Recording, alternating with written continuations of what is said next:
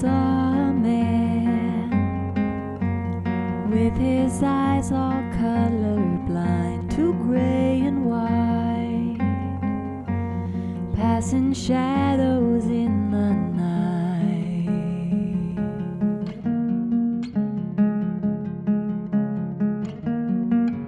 Then I awoke, feeling sick and thinking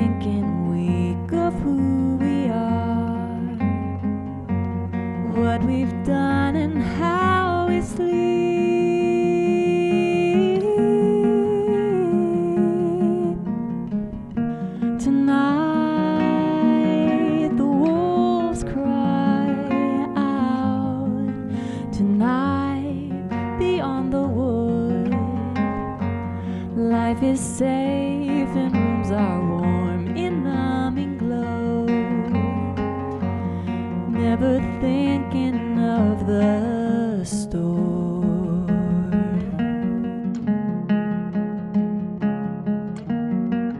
My lover said, Things are only as they end, yet here we are, breaking all we asked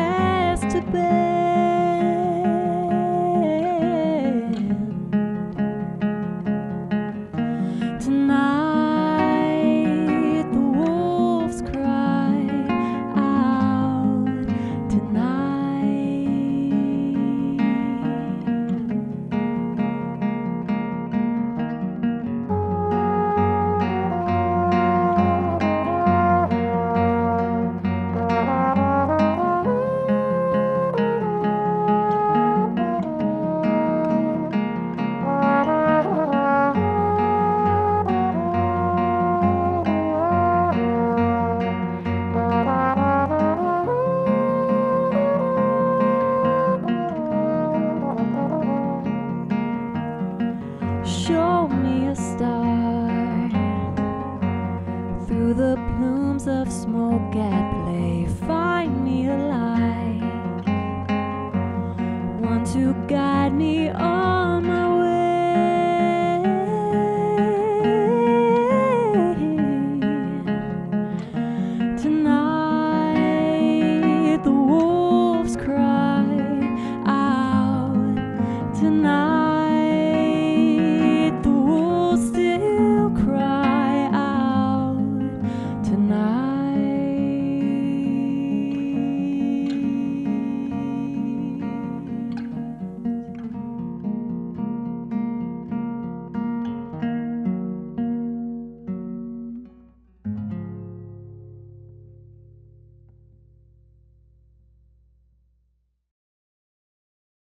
Well, I think some of the best songs are written about love, and I think there's something really inspiring about the love in all the different forms it might take, whether it's um, the beginning of a romantic relationship, the love between uh, a mother father and their children, um, you know, companionship in, in old age, and all of those kind of feelings just there's a song to write there about how it makes me feel to see that love, that caring, that compassion. And I feel like that's the root at what music really is is kind of sharing love in various forms um, without sometimes without even words. It's just the feeling gets trans- transmitted and translated through the music.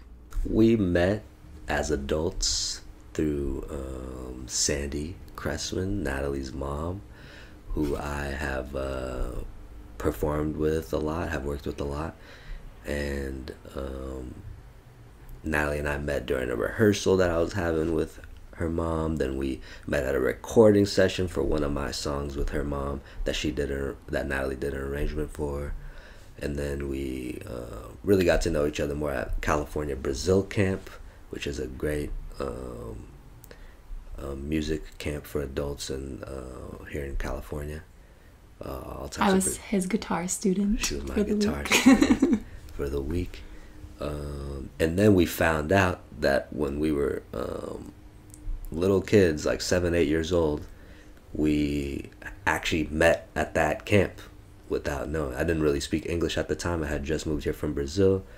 Um, my mom was going, and she just, you know, I think my dad was on tour, so she had to take the two kids along with her. And there was like a kids program, and we found these photos, you know, 20 years later of us playing together.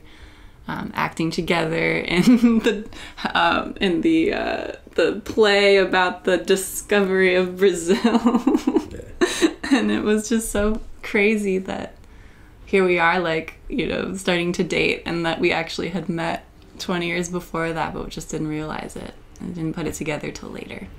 It's a long story. first of all, Natalie is amazing at uh, harmonizing. I think with anyone really, but um, with me, it's it's great because I'm terrible at harmonizing. so I, I love hearing her harmonize with me. She's just so good at blending and um, following my crazy rhythms and curveballs I might throw at her during a performance or even a recording. I love arranging your music because it feels like there's so much great raw material already there that the arrangements that I do just kind of write themselves and that's definitely not always the case when I'm arranging other people's music so it's just been a really nice kind of symbiotic process with this project. Honestly, I don't think they do. The creative process comes when it comes.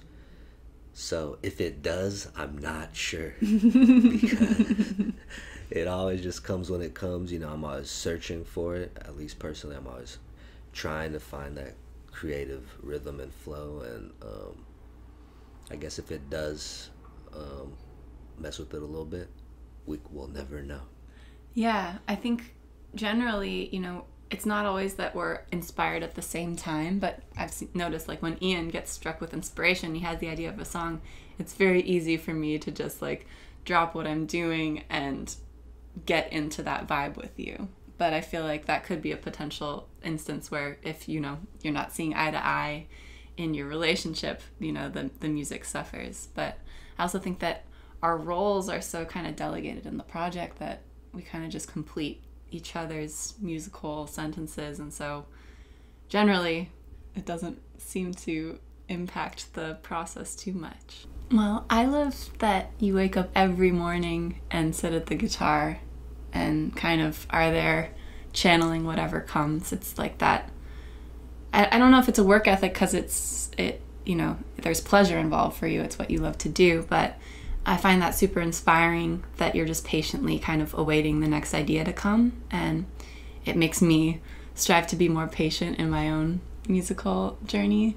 Well, when I met Ian, I was definitely playing mostly other kinds of music, and there's something that just really like shook me to the core about um, discovering Ian's music and discovering the collaborative process of, you know, at first it started out with me just writing lyrics to some of your songs and realizing that that was a really cool sound that hadn't been explored. And it just took me on this uh, kind of different pathway of learning a lot about Brazil and not just the music of Brazil but the culture and the language all kind of through you. And honestly I think that I wouldn't be the same musician if I hadn't really started working with you and being with you like coming up on 5 years ago. So for me it's definitely opened up my perspective of all the harmonic colors, the the the uh, rhythmic possibilities in the music, and also not being afraid to make music acoustically in one room with just one other person, and I feel like we're able to create something really full.